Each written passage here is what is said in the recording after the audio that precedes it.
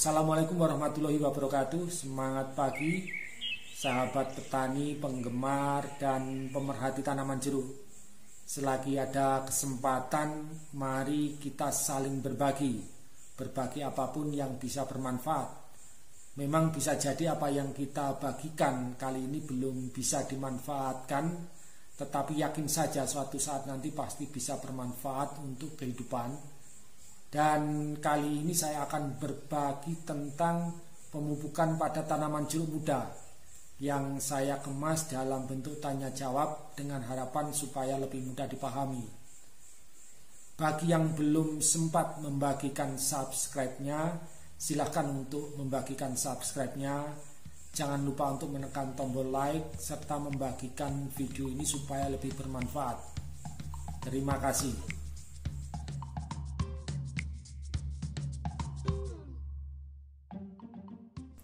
Unsur hara merupakan salah satu bahan utama yang diolah oleh tanaman menjadi senyawa yang digunakan untuk pertumbuhan dan perkembangannya. Jumlah unsur hara dalam tanah itu terbatas, sehingga jika diserap oleh tanaman terus-menerus dan diangkut melalui panen, maka terjadi proses pemiskinan unsur hara di dalam tanah. Unsur hara juga bisa hilang karena terbawa oleh aliran air dan diserap oleh gulma. Karena itu tidak mungkin kita mendapatkan produktivitas yang tinggi dan berkelanjutan tanpa dilakukan pemupukan. Masalahnya adalah tidak semua pemupukan itu bisa memberikan hasil yang memuaskan karena banyak sebab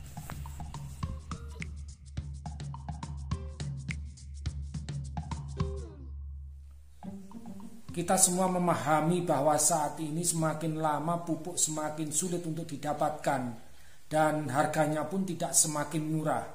Oleh karena itu jangan asal menggunakan pupuk. Kita harus paham sebelum melakukan pemupukan apa saja yang dibutuhkan oleh tanaman, berapa yang dibutuhkan, dan kapan tanaman membutuhkan pupuk, serta bagaimana cara pemberian yang benar supaya pupuk tidak boros.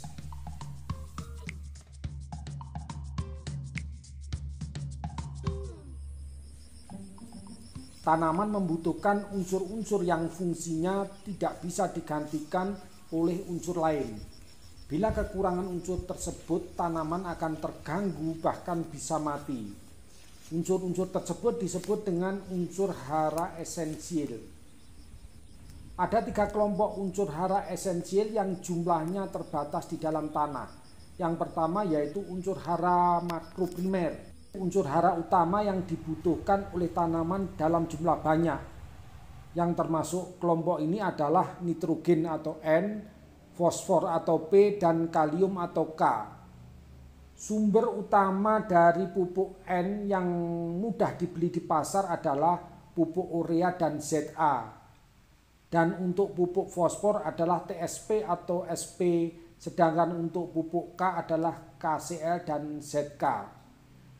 Ketiga unsur tersebut bisa kita dapatkan dalam satu jenis pupuk majemuk NPK. Kelompok kedua adalah unsur hara makrosekunder, yaitu unsur hara yang dibutuhkan dalam jumlah banyak pada kondisi tertentu. Yang termasuk kelompok ini adalah unsur Ca atau kalsium, Mg atau magnesium, dan S atau belerang unsur Ca dan Mg itu dibutuhkan dalam jumlah banyak pada tanah-tanah yang pH-nya rendah atau tanah asam. Sedangkan unsur S itu dibutuhkan pada tanah yang pH-nya tinggi atau tanah basah. Sumber Ca yang mudah didapat adalah kapur pertanian atau dolomit yang mengandung Ca sekaligus Mg. Sedangkan sumber S adalah belerang alam. Kelompok yang ketiga adalah unsur hara mikro, yaitu unsur yang dibutuhkan oleh tanaman dalam jumlah kecil. Yang termasuk kelompok ini yaitu unsur besi atau Fe, seng atau Zn, mangan atau Mn, tembaga atau Cu, boron atau B, dan molybdenum atau Mo. Sumber utama dari unsur ini adalah pupuk kimia dan berbagai bahan organik termasuk pupuk organik.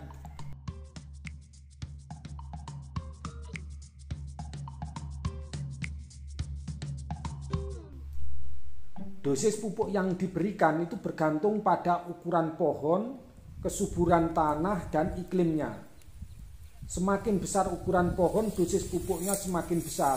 Dan pada tanaman muda, dosis N selalu lebih tinggi dibandingkan dengan P dan K. Apabila kita menggunakan pupuk tunggal, dosis pupuk selama satu tahun untuk tahun pertama yaitu urea 130 sampai 200 gram, SP36 80 sampai 160 gram, KCL 30 sampai 50 gram dan seterusnya. Dosis pupuk pada tanah-tanah berpasir, tanah-tanah tua atau yang pH-nya rendah, dan di daerah yang curah hujannya tinggi harus lebih banyak karena pupuk akan lebih mudah larut terbawa aliran air. Apabila kita menggunakan pupuk majemuk, misalnya pupuk NPK 15 15 15 atau NPK 16 16 16, maka harus ditambahkan urea atau ZA supaya komposisi unsurnya sesuai dengan kebutuhan tanaman muda.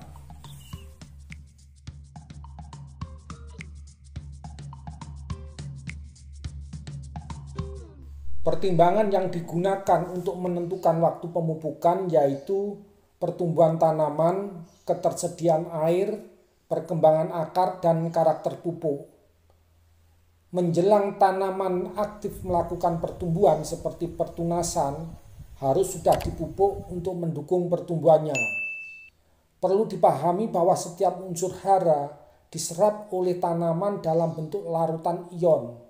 Jika pemupukan dilakukan pada saat tanah kering, maka pupuk tidak larut dan tidak bisa diserap oleh tanaman. Tetapi jangan pula memupuk pada saat ketersediaan air berlebihan karena pupuk akan terbawa oleh pergerakan air. Saat jangkauan akar masih pendek, seperti tanaman muda, harus lebih sering dipupuk.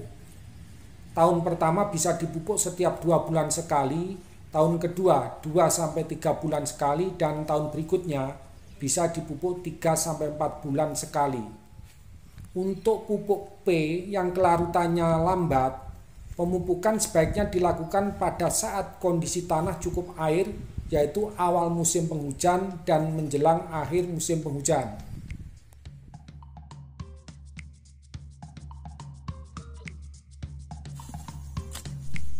Sekarang kita praktek pemupukan pada tanaman jeruk manis atau citrusinensis umur 3 bulan. Saat tanam hanya kita berikan SP36 karena tanaman masih adaptasi dengan lingkungannya.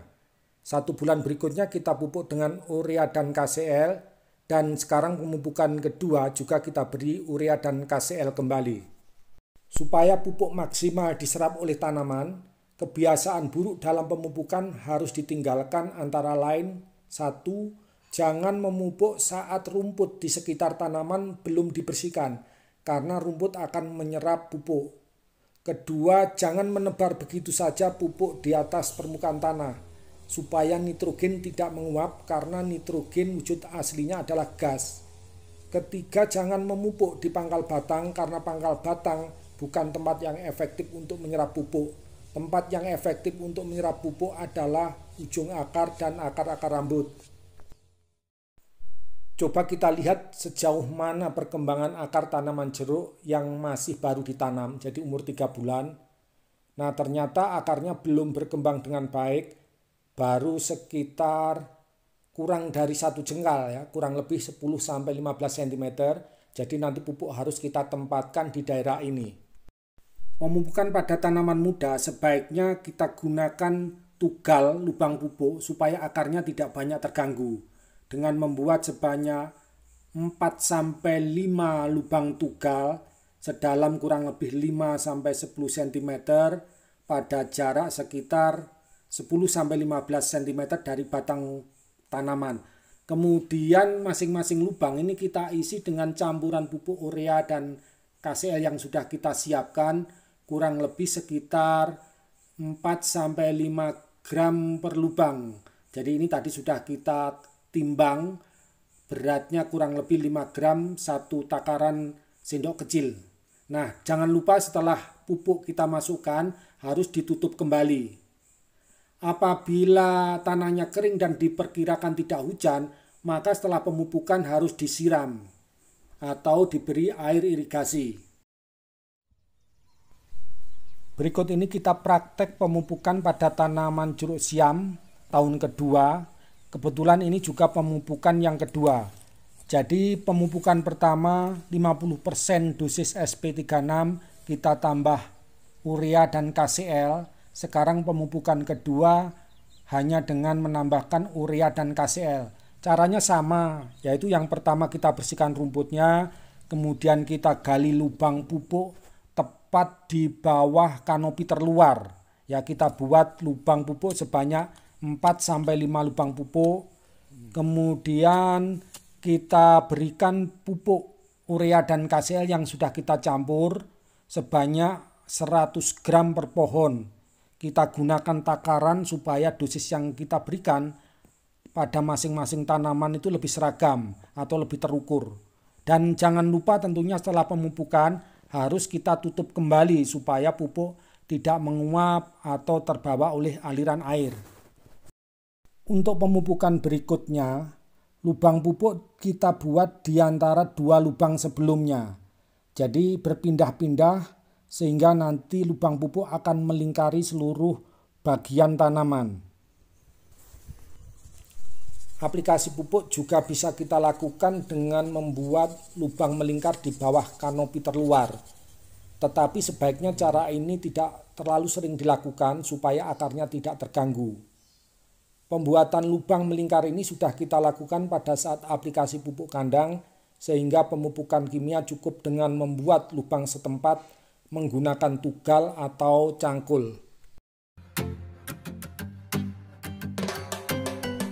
Terima kasih telah menyaksikan video ini hingga selesai. Semoga keluarga selalu sehat, tetap semangat, salam sukses, dan jangan lupa subscribe.